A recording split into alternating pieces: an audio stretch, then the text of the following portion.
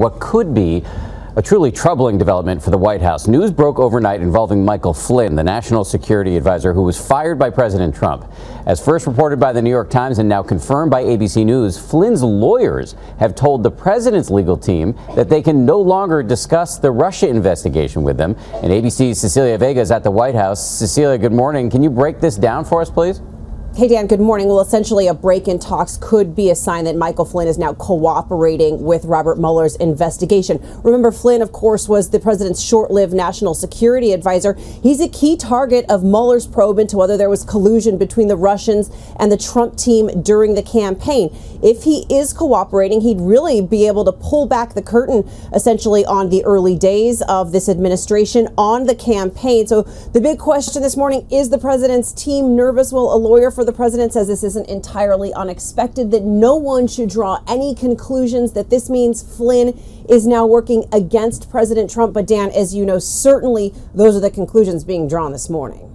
Absolutely. It's potentially a major development in this investigation. Cecilia, while I have you, let me ask you uh, about, about another piece of news this morning. A new apology from Democratic Senator Al Franken, who's now been accused of groping four women. What is he saying?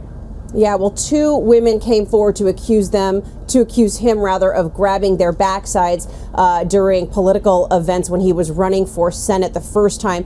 Overnight, he released a lengthy statement. He says basically he's met thousands of people. He takes photos at chaotic events. And then he says this take a look. Quote, I'm a warm person. I hug people. Some women have found my greetings or embraces for a hug or photo inappropriate, and I respect their feelings about that. I feel terribly that I've made some women feel badly and for that I am so sorry, and I want to make sure that never happens again. He also apologized, Dan, to Minnesotans, and he says he is committed to regaining their trust. We have not heard from him on camera since this, uh, this scandal broke.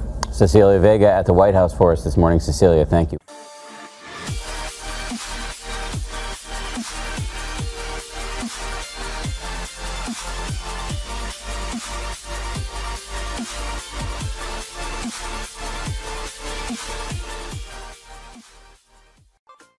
Alrighty.